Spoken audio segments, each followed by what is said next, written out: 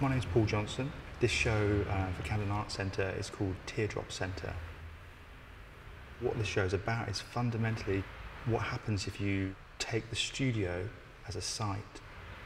I sort of started with looking at the space and I literally just systematically took the studio apart by destroying the floor, lifting that, taking the walls off, taking the doors off. I was quite surprised actually. I went to the landlord and sort of said, if I took the floor apart, would that be okay? And I loved his response. He just sort of said, well, as long as you put it back um, uh, before you leave. Everything has a potential from what's underneath the, the studio floor to a crisp to then things that have been lovingly sort of crafted and then kind of put in kilns and sort of fired as a ceramic. So every process is, every potential object is going through some sort of transformative process.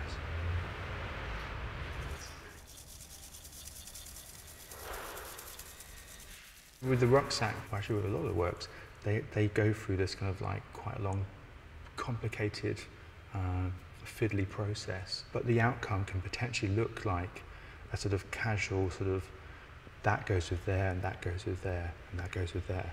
I kind of love that dichotomy of two things, like this sort of labour and then this kind of casual sort of like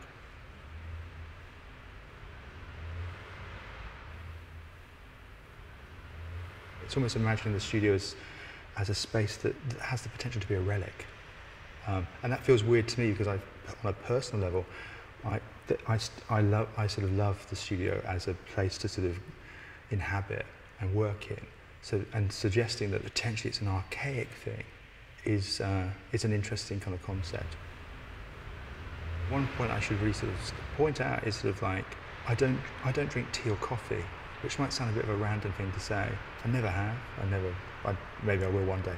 Um, but, and this is one of the reasons why there's so many coffee cup lids, because it's something I just, I look at and go, I just sort of see as these alien objects. Um, I look at coffee shops and sort of see people in there going, what are you doing in there?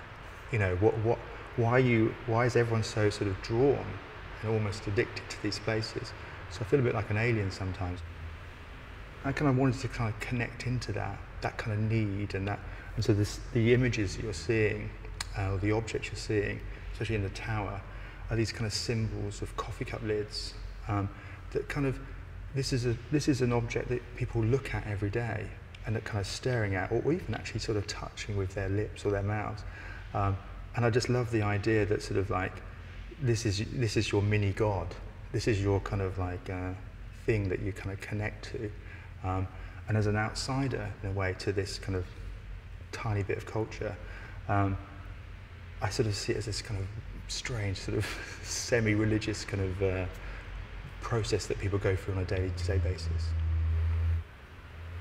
I think fundamentally the show is about kind of um, looking at everything and then sort of proje then projecting onto that everything and then hopefully in that process some sort of transformation happens and for the viewer to sort of kind of almost look at, decode, figure out um, or have, a, have an open response to.